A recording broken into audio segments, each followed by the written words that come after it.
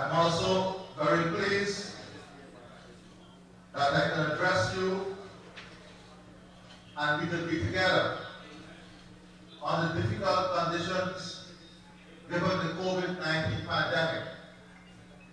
And I want us to remember those we have lost in the diaspora, in New York, and here in Guyana to the dreaded COVID-19 pandemic. I'm aware that we have lost some great souls in the diaspora. And to the families of those persons, to the members of the diaspora, thanks for those who have lost loved ones.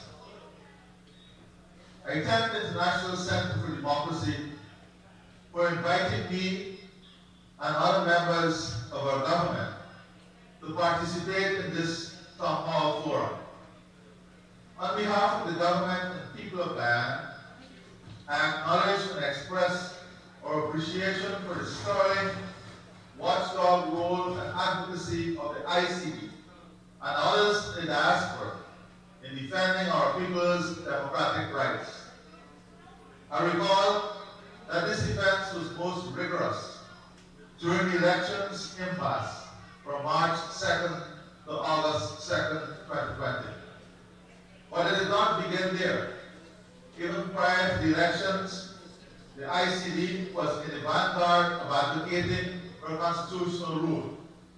Indeed, on the heels of the passage of the no confidence motion in December 2018, the ICD was most vocal in demanding respect for constitutionalism. It issued a statement which urged the then APNU AFC government to respect the process and to ensure that the Constitution was honored. It also lent his voice to the call for a smooth and sure pathway to elections within a time frame specified by the Constitution. Regretfully, elections were not held until 16 months later. Attempts to subvert the tabulation of the results of those elections laid siege to the democratic process and resulted in a protracted impasse during which the will of the Guyanese people was held hostage. I wish, in this regard, to commend the efforts of forces at home and in diaspora who stood their ground and demanded the respect of the will of the electorate.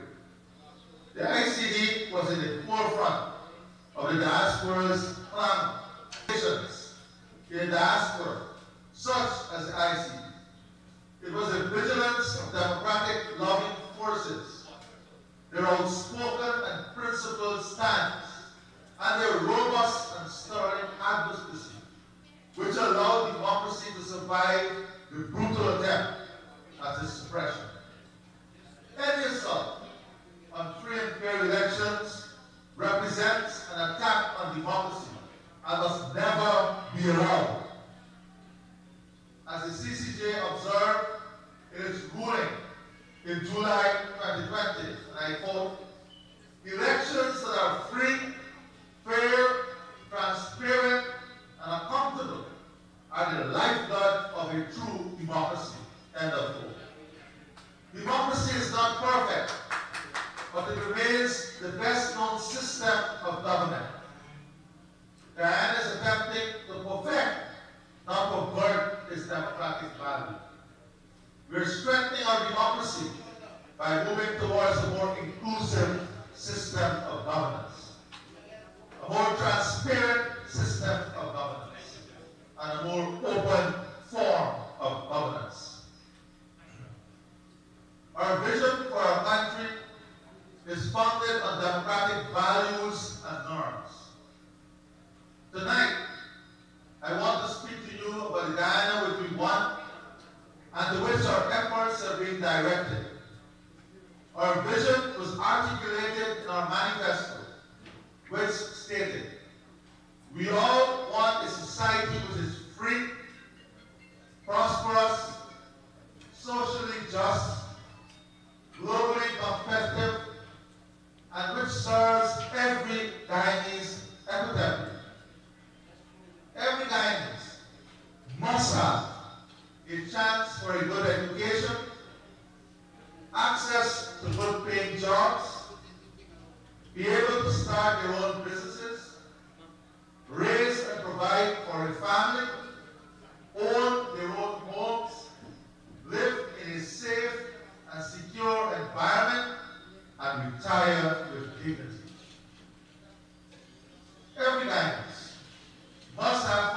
access to quality health care, safe water, be able to participate in sports and recreation, and freely practice their religion and culture. We believe our hard work and sacrifice, bolstered by the economy strengthened by oil and gas, by the oil and gas sector, must guarantee the next generation of Guyanese is brighter and better future. This is the Guyana that we want, and that which is being constructed. This is a mission to which I set myself as your president, and to which I will devote my every energy. In my inauguration address, I promised that I will be president for all of them. Those who voted for me, and those who did not cast their ballot in my favor. I committed to serving every Guyanese with affection and fairness and devoid of discrimination. I also affirm the promise to institute a system of inclusionary governance. Over the past 10 months, we've been implementing that system. My government will strengthen inclusion at three levels. At the level of the National Assembly, at the political level, and at the level of government. The adversarial character of the National Assembly does not preclude compromise or consensus. The two sides of our National Assembly may not always agree, but can still seek a common understanding, including through the utilization of parliamentary mechanisms, such as the select committees. At the political level, I've held meetings with other political parties, including non-parliamentary parties. I'm not averse to meeting the main parliamentary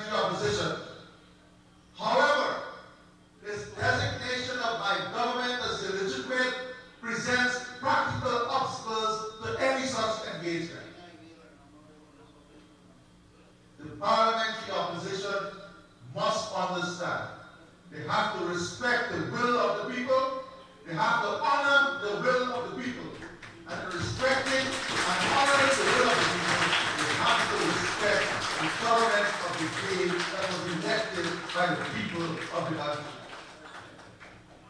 The third level of inclusion will be at the level of the government. We have already begun to involve in the management of our country persons whom we feel have the experience and expertise required and who are committed to national interests. I've also met with social and religious organizations, trade unions, and the private sector. I will continue to meet with them so as to benefit from their insights to learn more about their concerns. The Guyana you want is one that is united or avoid addressing the thorny issues of race and inequality. I believe that yes, we have to deal frontally with these issues.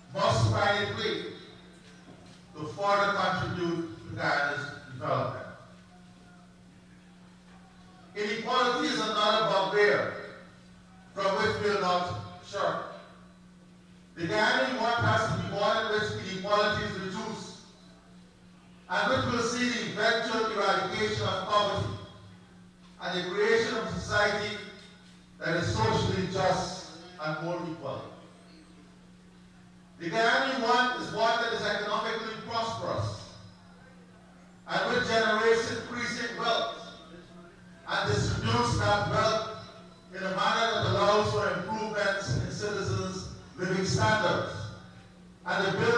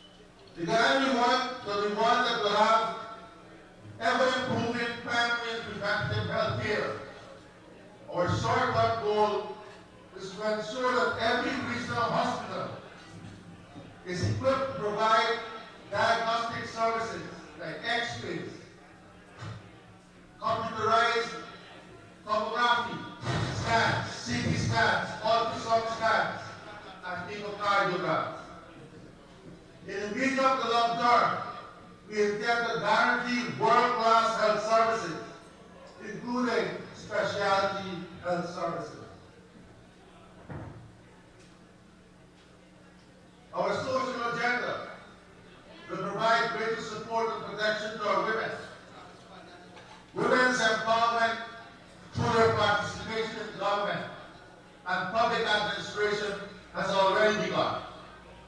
Our government will facilitate the establishment of more daycare centers for working women and will support women entrepreneurs with microfinancing for income generating projects. We have recently increased old age pensions and social assistance. By 2025, the old age pension benefit would have increased to 40,000 per month. We also implement training programs to benefit the disabled. We also ensure a greater role for young people in the country's decision-making process. As I noted in my inaugural address to the 12th Parliament of Guyana, our Amerindian brothers and sisters are forest people and deserve our utmost respect and honor. They determined to empower and improve their lives. In consultation with our indigenous people, we propose to update our Amerindian Act. We will also be upgrading their health, housing, education, and the infrastructural development of their communities while preserving their rich cultural traditions. Sport and recreation are vital the citizens have gained. We have begun to address the deterioration and neglect of our country's sporting facilities and to provide great opportunities for sportsmen and sportswomen. I could go on, but I know we have a roster of speakers. I know we have our Attorney General there, who will elaborate on many other areas we want the Guyana in which democracy is entrenched and healthy, where the rule of law and the rights of our citizens are respected. We want a Guyana that is more equal, and in which, in which we celebrate our diversity, where our people live in harmony. We want a Guyana with a growing and resilient economy, which provides employment and income so that our people can enjoy a good standard of living. We want a Guyana in which people can own their own homes and live in safe and secure communities while enjoying quality social services and adequate social protection. This is the Guyana we want.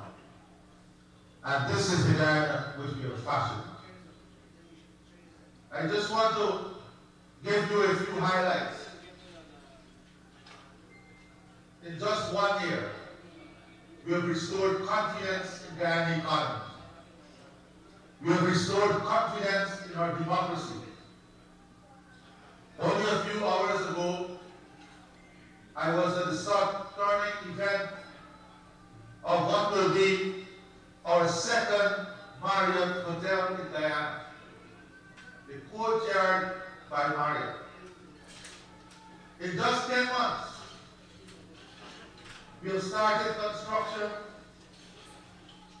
of two new hotels, the Courtyard by Marriott and Eden by Western. Additionally, three more international brands are mark to commence before the end of this year. Board 40 project has been approved for manufacturing and fabrication, cement and asphalt plant. You see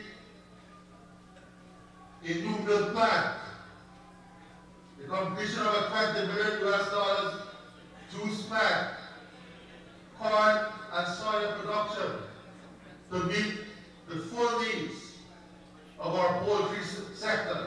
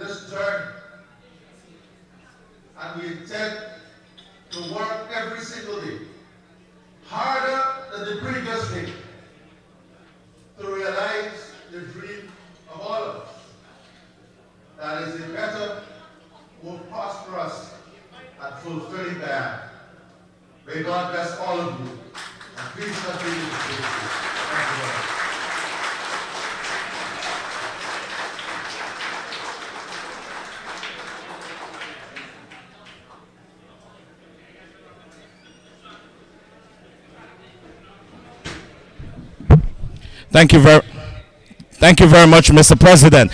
Ladies and gentlemen, we need to show our president how much we support You're doing. Can we stand, please?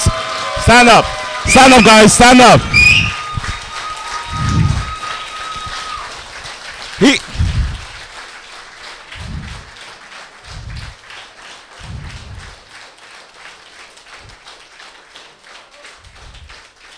Thank you very much. It's very important for, for them to see that we have 10 persons outside but 200 people inside.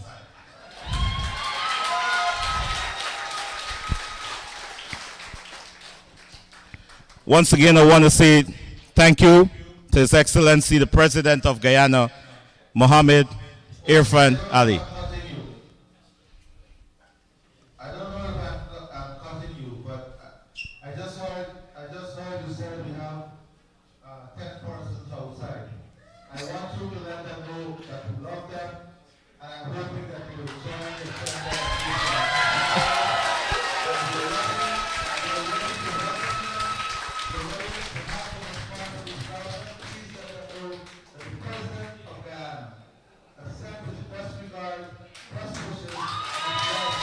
Guys. Stand up. Stand up.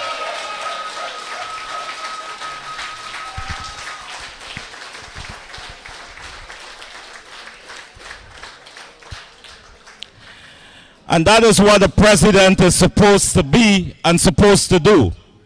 That is why he was elected and the other was rejected.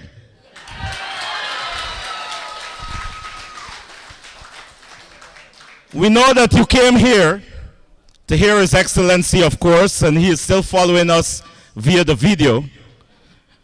But we have our much loved, our star boy, Attorney General, bright boy for their, their former Attorney General, and he's here in the midst right now.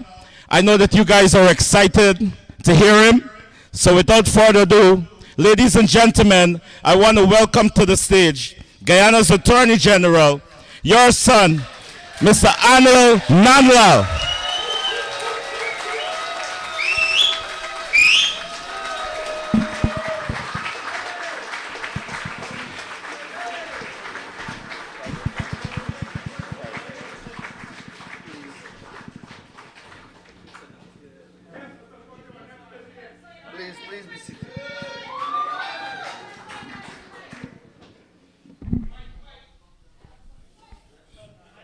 Testing.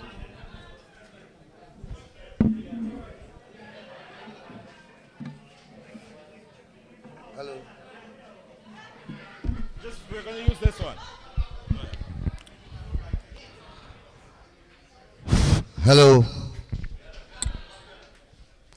His Excellency President Dr. Mohamed Irfaan Ali, executive members of the ICD, respected elders, distinguished gentlemen and ladies, brothers and sisters. It is a privilege as well as it is humbling for me to be here and be afforded an opportunity to speak and to commingle with so many wonderful people. And I want to thank the organizers of this event for making it possible. I want to reiterate the gratitude to, that the President spoke about to all of you for the role that you played, for the support that you gave us, and the support that you gave Guyana during the elections period, as well as the five months that ensued. We in Guyana drew strength. We drew inspiration. We drew energy. And we were invigorated by your love, by your affection, and by your show of support in so many facets and so many different ways.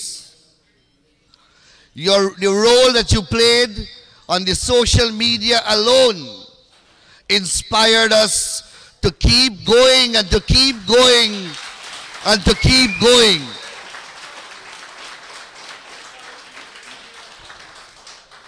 And we must always remember these events because as human beings, we have to learn from our mistakes and the mistakes of the past.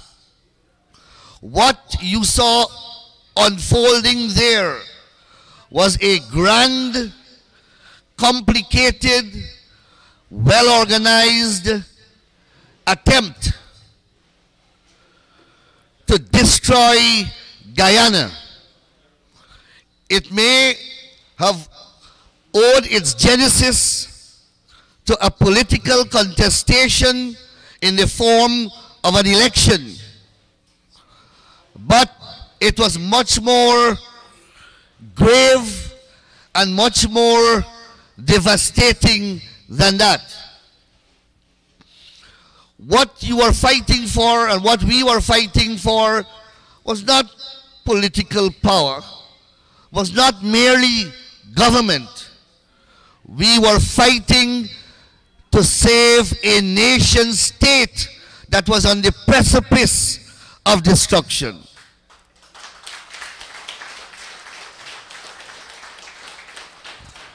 And for the role that you played, Guyana as a country and all its people owe you an eternal debt of gratitude.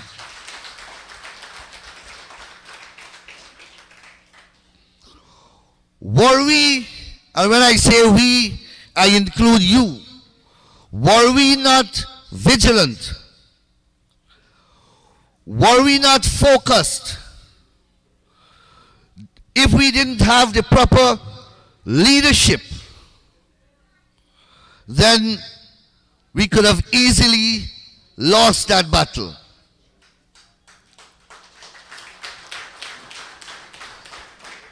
Many, many, many people who did not enjoy the limelight played a crucial and critical role in that process.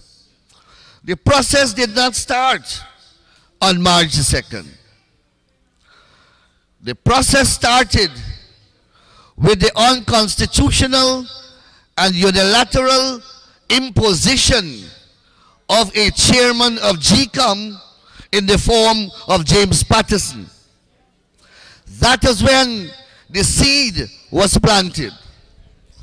And the plan was that that gentleman would have spearheaded GECOM and GECOM would have been used as the machinery to steal the elections. And when the case was filed, when the case was filed, the plan began to unravel. Somehow, those who schemed and conspired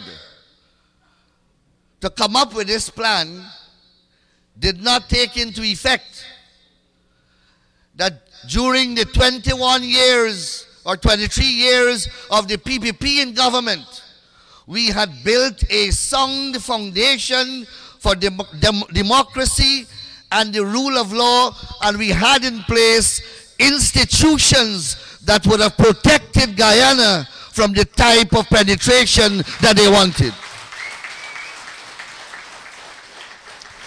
They did not take that into account. So they never had in their mind a place called the Caribbean Court of Justice. Recall one of the things that Burnham did was to remove all appeals to Her Majesty's Privy Council and to abolish that court from the Guyana legal system.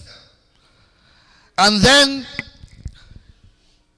to show you and to show the Guyanese that he controlled the judiciary after he removed fluid in the compound of the Court of Appeal building, which was then the apex of the judiciary. Do you know what that symbolizes? Do you know the symbolism of that? He was telling you, the people, that he is the leader of the PNC. And you can't do anything. You can't even go to court when he takes away your rights and he takes away your freedom because he controls the courts as well. And one of the things that we did was as soon as the Caribbean Court of Justice was established, Guyana was one of the first territory in the Caribbean to sign on. And the CCJ is one of the institutions that saved the democracy in Guyana. But they didn't stop there. When the C before the CCJ rule, Patterson began to implement their plan. So they wanted to do a house-to-house -house registration and through that mechanism, they wanted to create a new list and throw away the existing voting register. And through that exercise, they would have refused to put on the voters list, on the national register, tens of thousands of persons whom they think would have voted for the PPP. And they wanted also, and we had to go to the court. And the Chief Justice ruled in accordance with the Constitution that once you are a citizen and you are 18 years and over, you are eligible to be registered. And once registered, your name cannot be removed from the list unless you are dead. They didn't think it out. So we were able to stop that unlawful exercise. And then in the middle of all of that came the no confidence motion. And when the no confidence motion was passed and they refused to obey the command of the resolution produced by that no confidence motion, which mandated them to resign as a cabinet within three months unless extended by the parliament and they refused to comply with those constitutional prescriptions, the world started to look at Guyana and the limelight began to shine on Guyana. And when that happened, it became more and more difficult for them to do the jiggery pokery that they wanted to do to win the elections.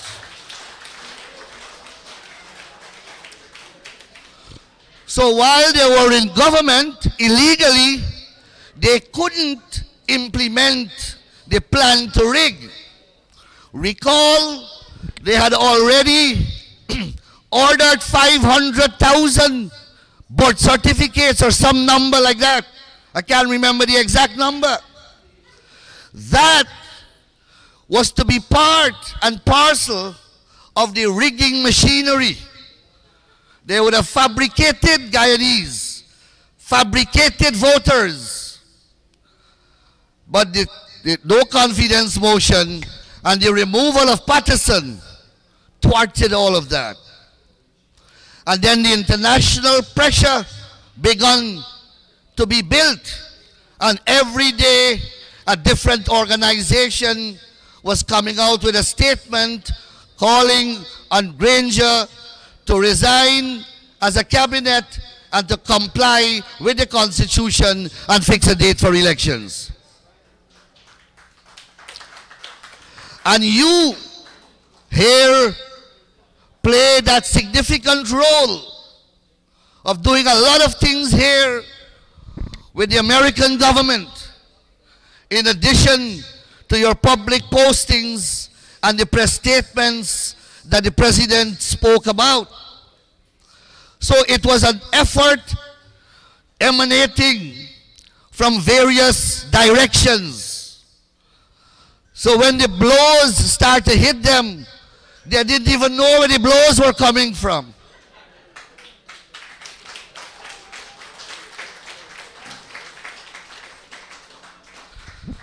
And Granger eventually had to agree to issue the proclamation declaring March 2nd as the election date. But they did not give up. they, they then activated another component of their plan, which was Lowenfield et al. And then Lowenfield started to unfold another plan. So every day was a different issue. They didn't want to hold the verification exercise, which is required by law, what is called the claims and objections. And then they started to make allegations that hundreds of people were dead. Sun Sunday, just Sunday last, I went to Morocco which is an Amerindian village located 96 miles up the Maikodi River. And I, were, I was explaining to the people and reminding them because the people are very educated and they were following all events. The AP in that community claiming that they were dead. We had to take a GECOM team 96 miles up the river and produce the people and say, look, this is the man that you say is dead.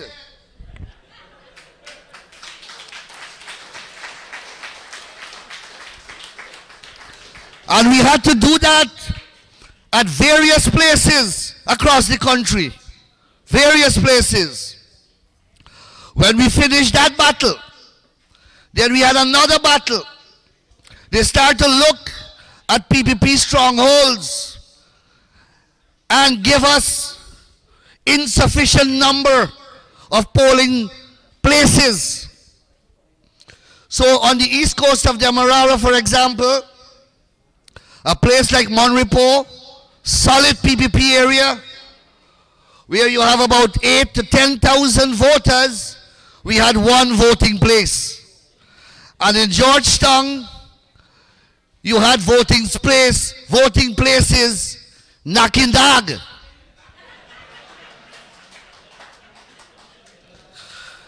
We had to go night night. The president himself,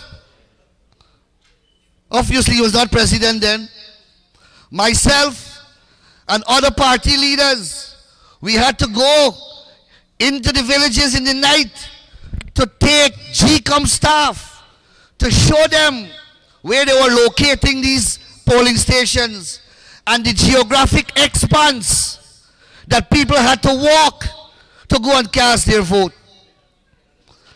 Whereas when you compare it to other areas, the voting stations were in excess.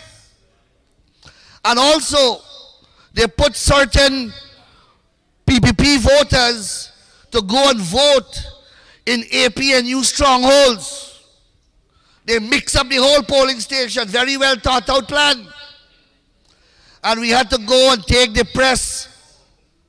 And exposed was people would go home, people would get fed up, and so on. But we managed to get a number of new voting places. And then, of course, and that was just a couple days, two or three days before the elections, and the people in the communities don't know where they have to vote. That was a level of confusion that they were perpetuating against, against, against the system. Then we had elections day. And then you know very well that after voting concluded, they claimed that they won. You remember there's a video when Basil Williams said his statement of claim, not the statements of poll. He said, he said he got all the statements of claim. So, and then the thing happened at Ashmins Building that you all saw. You all saw with your eyes. Nobody told you. And I often said that these people, I don't know if it is genius or it is stupidity, but you can't thief a government in a glass room. The wall of the room a glass. The, all the ambassadors them looking into the room. Oh, see one cardboard wall for putting if you're going to want TV the election. Put one 10 test wall. The thing is glass, and we are looking in and we are seeing. And you know the whole fiasco about Mingo collapsing, etc. I left the voting place, the same place. I asked Mingo, I said, Mr. Returning Officer, are we working whole night or would we stop at some point in time? I had to know that because we had to have replacement scrutineers for our party in the exercise. And the other parties too. If you're working right through, we have to work out a shift system. Because you're working whole night and whole day. The man told me, Mr. Nandlall, you are an experienced man. You know that when I start this process, I cannot stop it. And I said, thank you, sir. And the party put in place a, a replacement to take place at 10, 12 midnight. I was speaking to Mingo there at about 7 p.m. I live about 10 minutes or less from that place. By the time I reach home, I get a call that Mingo stopped the process and says he will resume next day. The next day at 9 he said he will resume. At 9 we can't find him. At about 11 to 12 he comes down in a wheelchair, twists up all the mouth and the jaw hanging on one side. And they got tube in the nose. He breathed. A magical transformation. And they rush him to the hospital. And that was all part of the saga, which you all know so well. A well opportunity to say that we had a legal team and we had a lot of support staff. Sometimes we don't recognize them for the role that they played. It was not a one-man show. It was a team.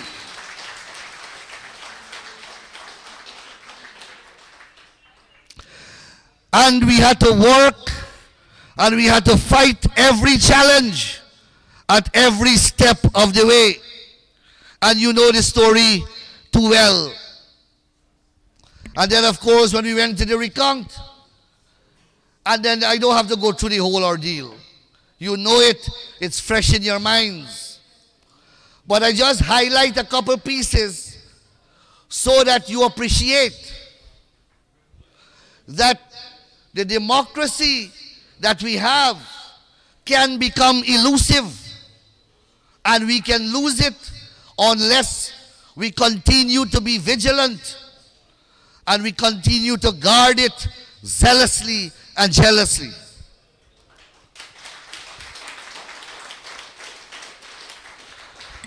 And that is why we promised electoral reforms. And, and, let me say, Guyana has a unique issue. All over the world, you have elements of voters' fraud, but it comes from the voters. In Guyana, you have a radically different situation. You have those who are in charge of the machinery who are attempting to machinery. No part of the world you find that. So what we have promised is to look at the legislation, remove discretion as far as possible, make it clear wherever it is felt that it is ambiguous and unequivocal.